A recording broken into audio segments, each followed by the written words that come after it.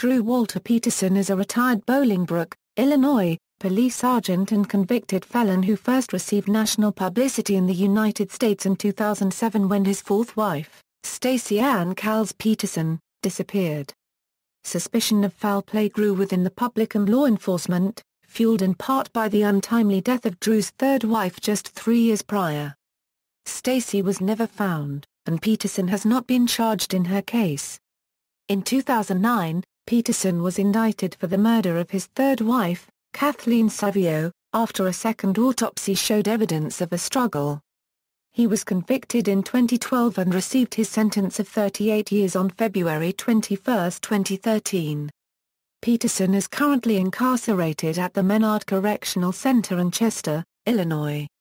Including a four-year credit for time served, Peterson's earliest possible release date is May 7, 2047 when he will be 93 years old he maintains his innocence.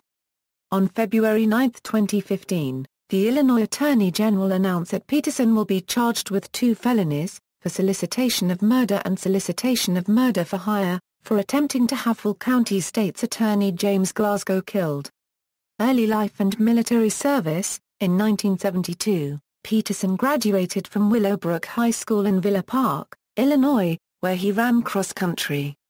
He joined the U.S. Army after graduation and briefly attended the College of DuPage in 1974 before moving to Falls Church, Virginia to train as a military police officer. Law enforcement career Peterson had a 30-year career as a police officer. He began working with the Bolingbrook Police Department in Illinois in 1977. In 1978, he was assigned to the Metropolitan Area Narcotics Squad, and in 1979, he received a Police Officer of the Year award from the department. Marriages equals Carol Brown equals Drew Peterson and Carol Brown met in high school in Villa Park, Illinois, and together attended his senior prom. They married in 1974, but divorced in 1980, after Brown learned about his infidelity. Together they had sons Stephen Paul Peterson and Eric Drew Peterson. Equals Victoria Connolly equals Peterson married his second wife, Victoria Connolly, in 1982. Connolly alleged a history of abuse during her 10-year marriage to Peterson, as has her daughter, who lived in the household from the age of 8 to the age of 17. She divorced Peterson after he started dating Kathleen Savio. Their divorce was finalized on February 18, 1992. Peterson married Savio two months later. In 2007, Connolly stated that Peterson was a legend in his own mind. Equals Kathleen Savio equals, Peterson married Kathleen Savio on May 3, 1992. Together they had two sons, Thomas and Christopher. Their divorce was finalized on October 10, 2003. It was reported that between 2002 and 2004, police were called out to the Peterson house 18 times on domestic disturbance calls, including calls for returning children late after visitation. On March 1, 2004, Kathleen Savio's body was found in a waterless bathtub.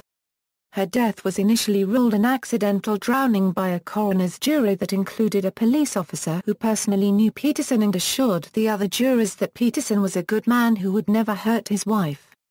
However, following Stacy Peterson's later disappearance, Savio's body was exhumed and underwent forensic examination on November 16, 2007.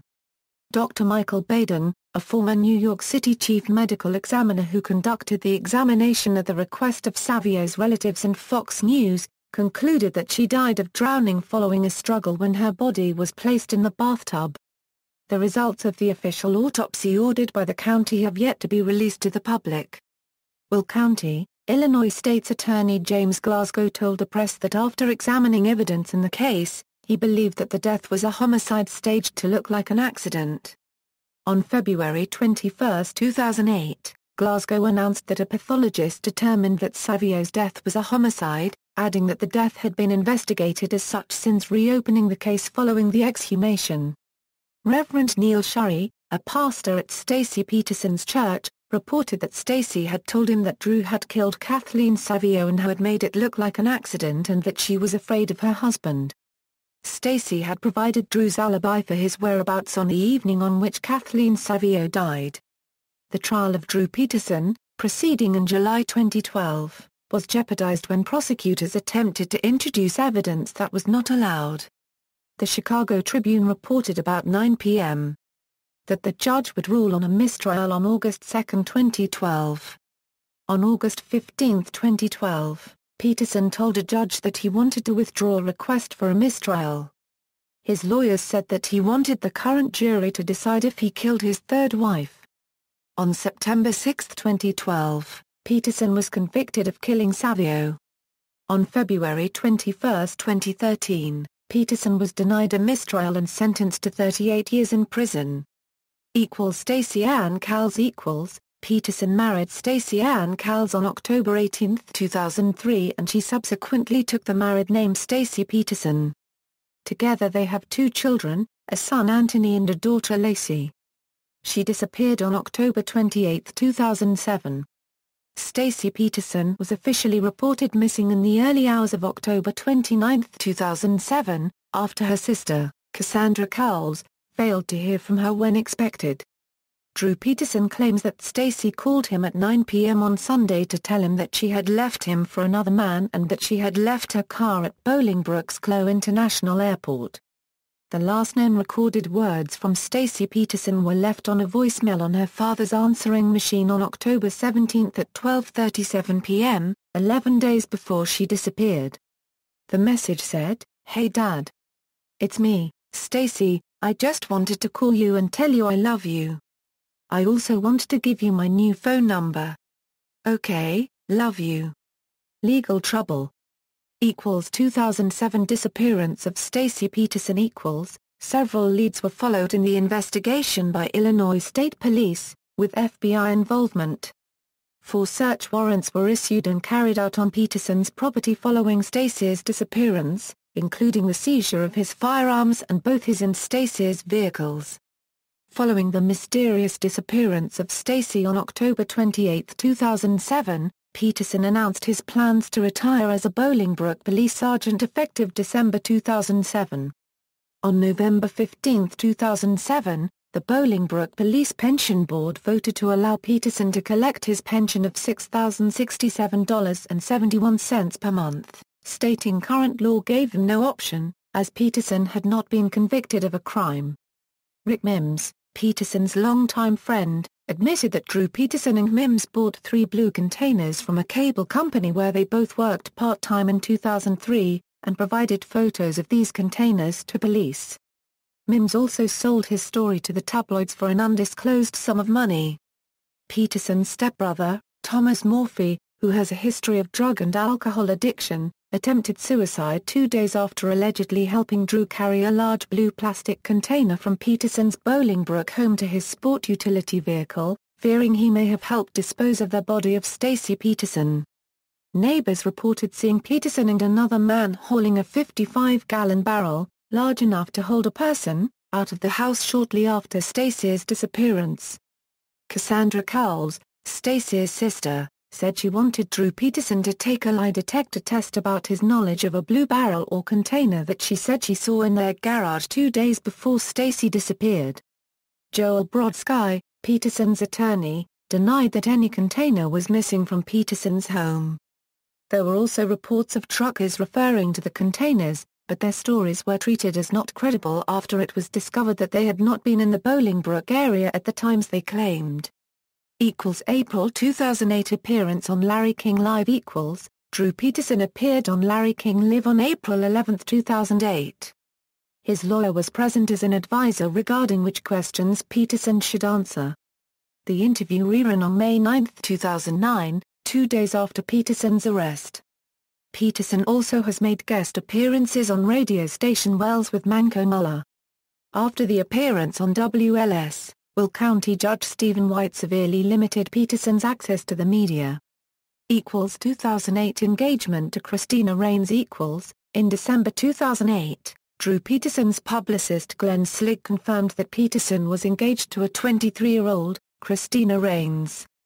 She would have been his fifth wife.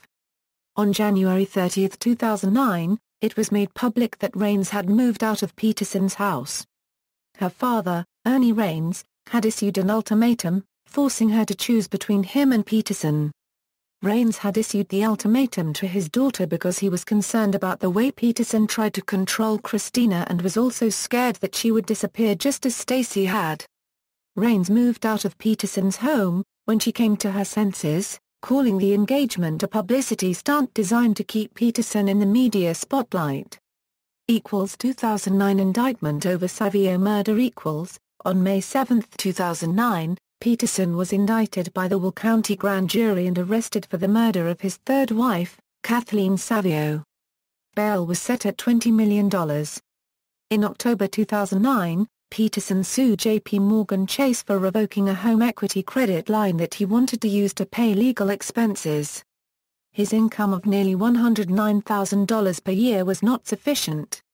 In July 2010, Judge Stephen White ruled that Peterson would remain in the Will County Jail for the remainder of his trial and appeals process. Prosecutors argued he could pose a danger if released.